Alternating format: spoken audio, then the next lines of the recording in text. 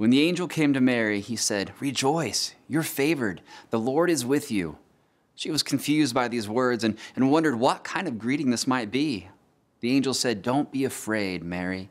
God is honoring you. Look, you will conceive and give birth to a son, and you will name him Jesus.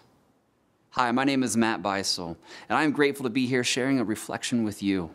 You know, my parents struggled with infertility and, and knowing that they wanted children and thinking that it would never be possible for them to conceive, they entered the process of adoption. And in the middle of filling out all the paperwork and hosting the interviews, they got a surprise. They found out they were pregnant with me. And after giving up on the idea that they would conceive a child of their own, they considered it to be an extravagant and unmerited divine gift.